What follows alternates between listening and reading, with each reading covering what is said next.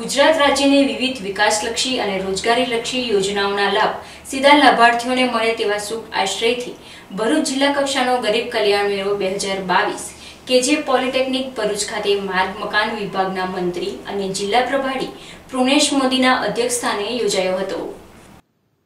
ગુજરાત રાજ્યની વિવિધ વિકાસલક્ષી અને રોજગારલક્ષી યોજનાઓના લાભ સીધા લાભાર્થીઓને મળે તેવા શુભ આશયથી ભરૂચ જિલ્લા કક્ષાનો ગરીબ કલ્યાણ મેળો બે હજાર બાવીસ કે જે પોલિટેકનિક ભરૂચ ખાતે માર્ગ અને મકાન વિભાગના મંત્રી અને જિલ્લાના પ્રભારી પૂર્ણેશભાઈ મોદીના અધ્યક્ષસ્થાને યોજાયો હતો. ગરીબ કલ્યાણ મેળાના કાર્યક્રમનું ડીપ પ્રગટાવીને ઉદ્ઘાટન કર્યા બાદ સમારંભના અધ્યક્ષ, માર્ગ મકાન વિભાગના મંત્રી અને જિલ્લા પ્રભારી પૂર્ણેશ મોદીએ જણાવ્યું હતું કે, વડાપ્રધાન નરેન્દ્ર મોદીએ સન બે હજાર દસમાં ગરીબો માટે સરાહનીય કામગીરી શરૂ કરી છે. ગરીબ કલ્યાણ મેળાના માધ્યમથી ગરીબ પરિવારો સ્વાવલંબન અને સક્ષમ બન્યા છે.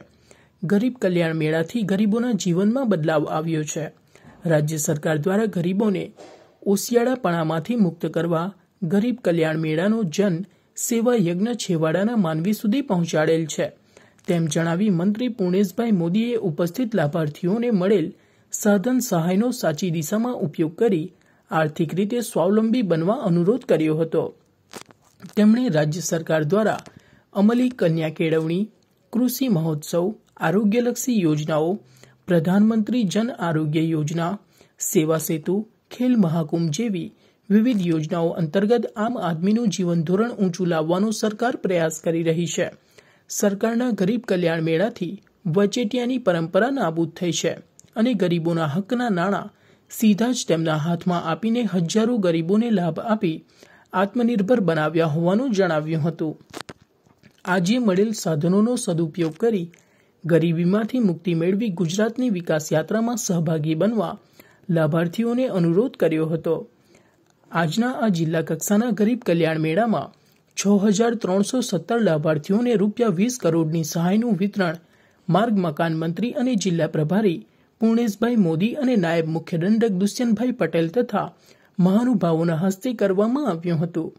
ઉલ્લેખનીય છે કે બાર તબક્કાના જિલ્લા કક્ષાના ગરીબ કલ્યાણ મેળામાં સૌથી વધુ ચાર હજાર મહિલાઓએ સરકારી યોજનાનો લાભ મેળવી, સ્વાવલંબન અને સક્ષમ બનવા આગળ આવી લાભ મેળવ્યો હતો.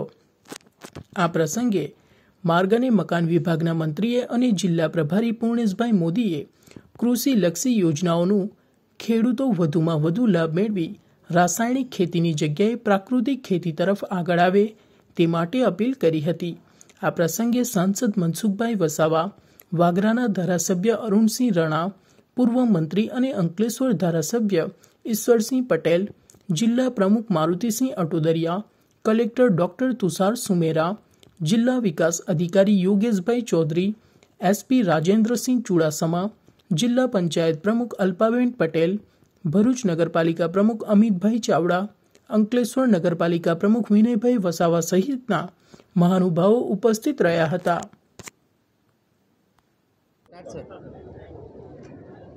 નમસ્કાર.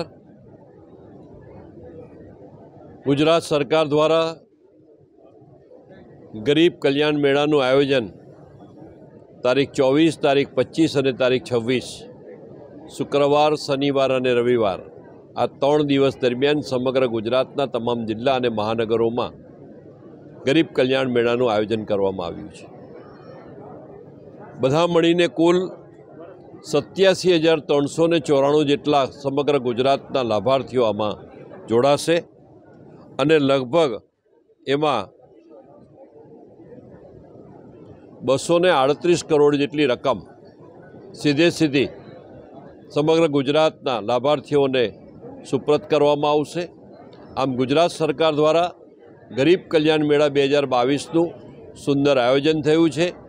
લાભાર્થીઓને લાભ મળે, એની ગરીબાઈ દૂર થાય, એ સ્વાવલંબી બને, એ પગભર બને, એ આત્મનિર્ભર બને અને પોતાનું કુટુંબ સુખ સમૃદ્ધમય બને એવી શુભેચ્છા સાથે ગુજરાત સરકાર સતત કાર્યરત રહી છે.